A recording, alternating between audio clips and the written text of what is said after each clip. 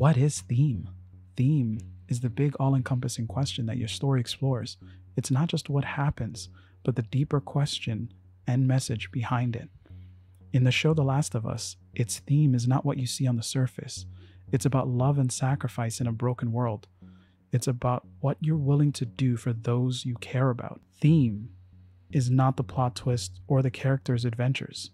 Instead, it's the universal idea or question that you're exploring or posing to the audience by using the world and its characters to explore that question or idea.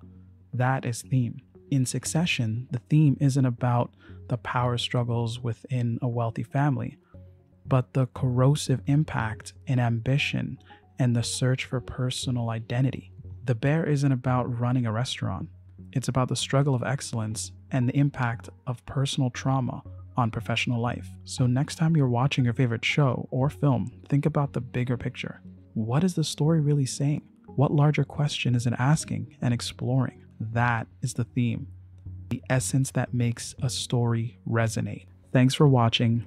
Don't forget to like and subscribe and hit that bell notification. Also, check out our website for free educational downloads. If you're looking for more story tools, check out our new Story Planner Notebook, a guided story structure composite notebook that gives you step by step instructions on how to plot your upcoming story.